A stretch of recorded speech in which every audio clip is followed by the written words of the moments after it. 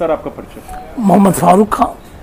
आ, क्या बनास हाँ, hotel river palace Banas कोठी के हम मालिक हैं। मेरे पिताजी की डेथ हो चुकी है।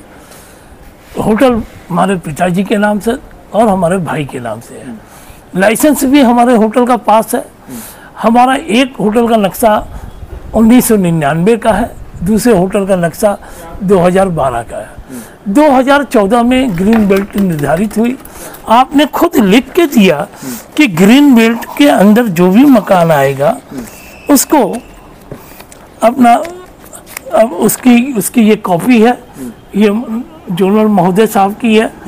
उसके बावजूद आपने जो है, हमको अपना कहा कि नहीं, आप अपना नक्शा नहीं पास होगा कि आपका रेजिडेंशियल है। हमने कमर्शियल कराने के लिए अपना इनके यहाँ दरखास्त में दरखास्त दिया। और उसके बाद जो है आज हमारे होटल को तोड़ने आ रहे हैं। कल रात दो चौबीस छब्बीस को इन्होंने एप्लीकेशन दिया।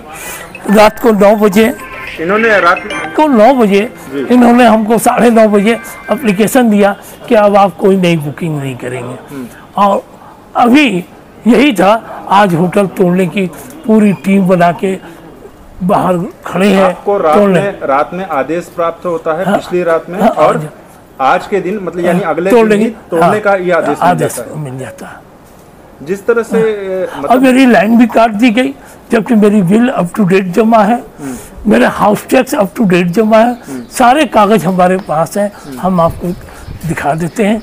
और उसके बावजूद होटल को तोड़ने की। हम ग्रीन बेल्ट में हैं। उस वक्त ये बात है ग्रीन बेल्ट में आपका जो है 2014 के पूर्व का नक्शा पास है। इसलिए इसको समनिंग किया जाएगा। तो आज सरकार- आज सरकार माननीय योगी जी ने खुद कहा कि 1000 स्क्वायर फीट के रेजिडेंशियल अगर ज़मीन है या मकान है तो उसको कमर्शियल किया जाएगा।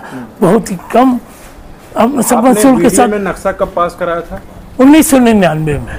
अच्छा। और 2012 में। अच्छा दोनों होटलों का आपने नक्शा पास करा नक्शा पास कराया लाइसेंस भी हाँ। लाइसेंस भी लिया। हाँ।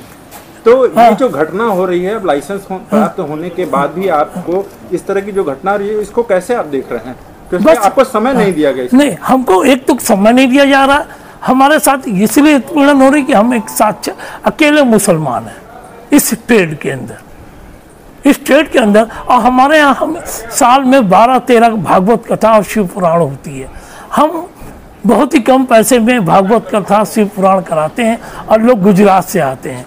अभी हमारे यहाँ गुजरात से लोग आए थे, भागवत कथा करा रहे थे, लाइन काट दिया, पानी काट दिया। जिसकी हम लोगों ने नोटिस भी हमको दिया क्या और लाइन काटना, बिजली काटने के बाद तेईस तारीख को नोटिस दे रहे हैं और इक्कीस तारीख को लाइन और पानी काट दिया।